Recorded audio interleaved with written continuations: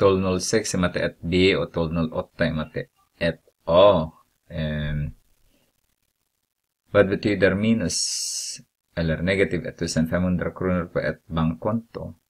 Den här är inte bra. Om ni har fått den här 1000 negativ 1500 på ert konto. Det innebär att ni har ja, tagit ut mer pengar än den som ni har ert konto. Det kan hända att ni har handlat för mycket till exempel eh, i slutet av månaden så har ni negativ då. Det betyder att det kan vara om er eh, konto har inte den möjligheten att få låna lite pengar, låna lite pengar ibland. Så den det här betyder att det blir jättedyr lån från er sida. Så undvik den här.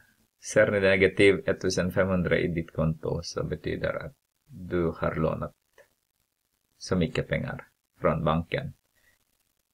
Och ja, du får betala den och plus ränta och då räntorna är alldeles för dyra och sådana bankkonto från bankkonto. Så undvik dem.